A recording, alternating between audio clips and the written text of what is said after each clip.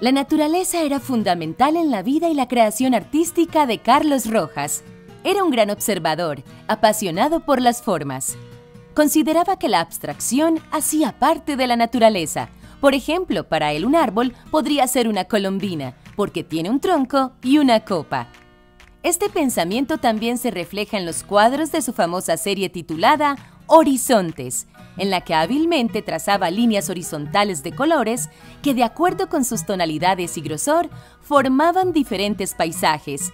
Por eso para él la abstracción era la simplificación de elementos contenidos en la complejidad de la naturaleza. El cuadrado era la esencia de su actividad como artista y el formato que tenían casi todas sus obras, pues creía que este era la forma más coherente que existe en el universo, ya que es una unidad capaz de multiplicarse y dividirse en forma perfecta. Amaba el orden y la geometría y pensaba que allí estaba la clave que podía conducir a los seres humanos a la belleza.